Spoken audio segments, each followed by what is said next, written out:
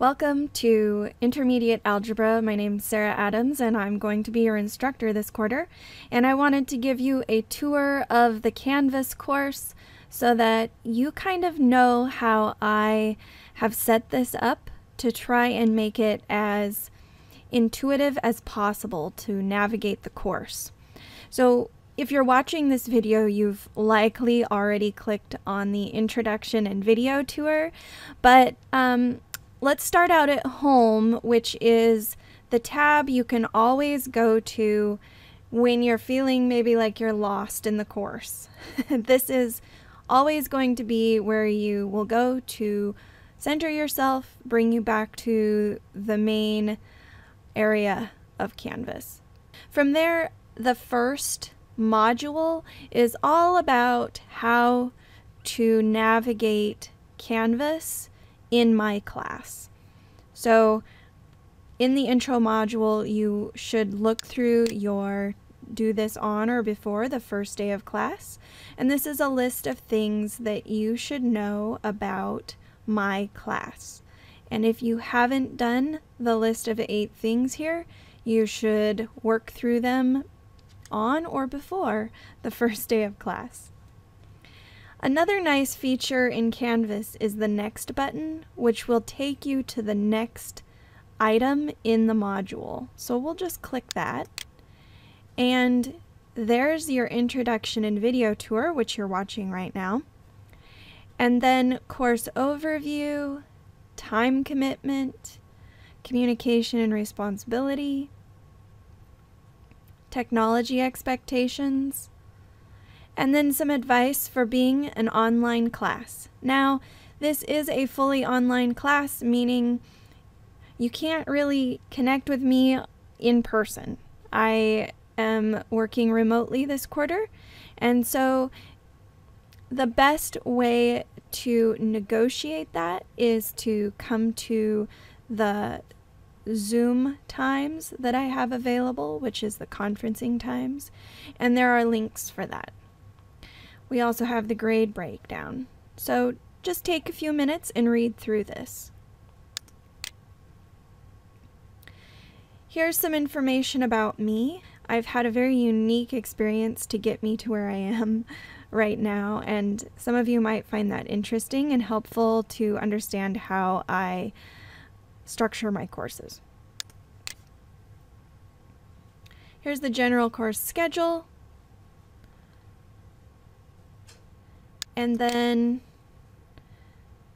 an Ask a Classmate forum. Now, this forum is going to be very, very helpful if you all embrace it as your discussion forum.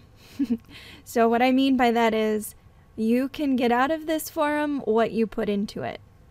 Those of you who put a lot of effort into helping each other out will most likely get more out of the course than someone who doesn't put a lot of effort into connecting with others and working hard to understand the concepts.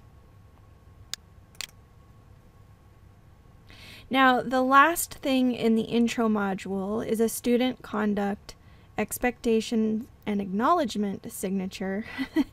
and what that is, is just a way to show me that you've read the syllabus which is over here, right under the home link in the top left corner of the screen.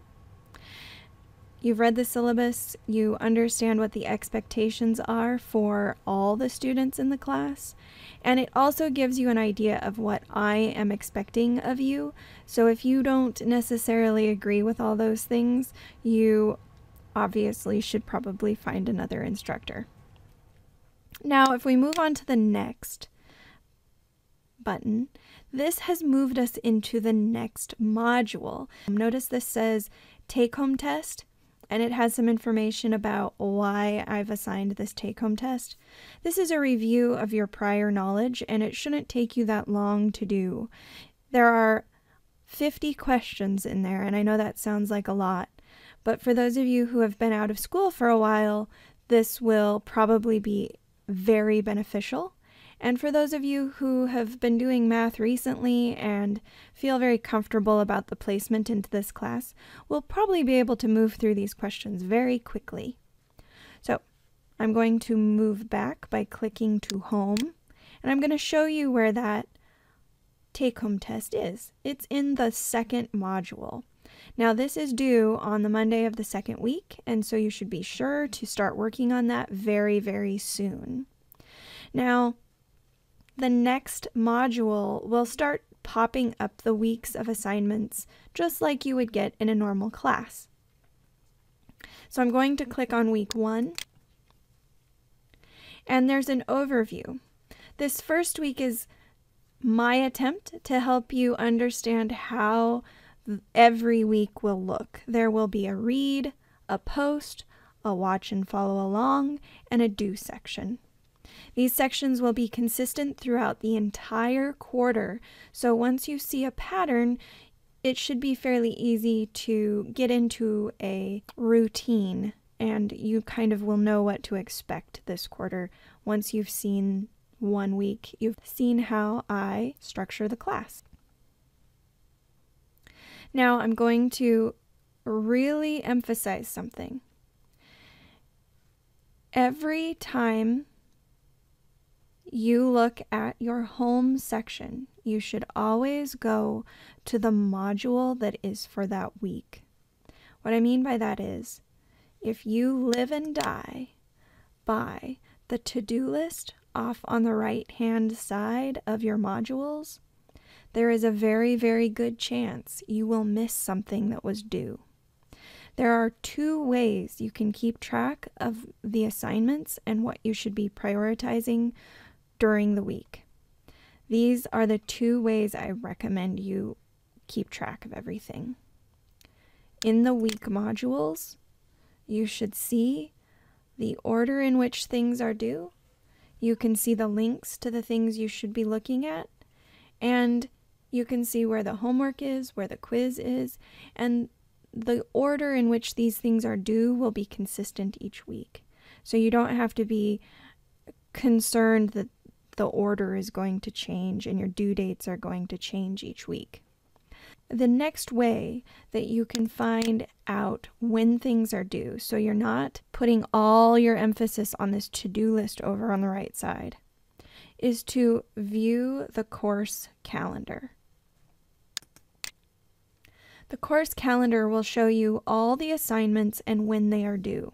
For those of you who are viewing this maybe a few quarters later, there's a good chance the assignments will be ordered slightly different. However, this is where you go to see what assignments are due on what day. And you can see that there's quite a lot due on the first day of the quarter. The other nice thing about looking at your calendar is that it allows you to click on those items and it will then hyperlink you back to that page or that assignment.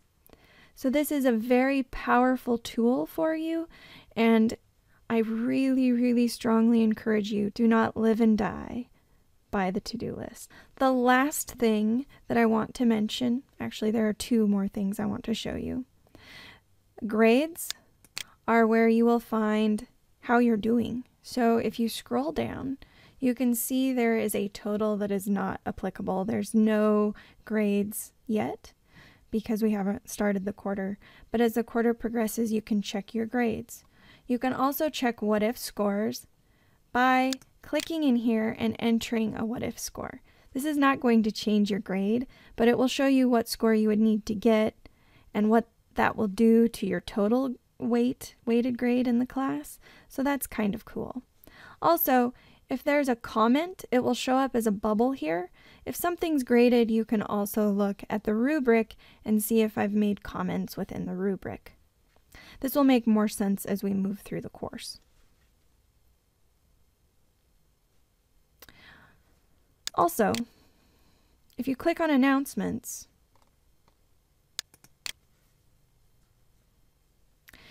you will occasionally get an announcement from me. These are very important to read. They are usually related to when your tests for the class will be, what modality those tests will be in, and maybe some review concepts or maybe even some practice problems before your tests. These are very, very important to read. And sometimes they'll just be words of encouragement, but usually they have even more important things in them, like don't miss this due date or you won't be dropped from the class, something like that. So do not ignore the announcements. Let's go back to home. The announcements will show up in the Announcements tab. They will also show up at the top of your home screen. And if you haven't read them yet, they will also show up in your to do list. I hope this has helped you understand how to navigate this particular class. I also hope that you have a great experience this quarter and that I get to know every one of you in my Zoom office hours. Good luck this quarter and stay in touch.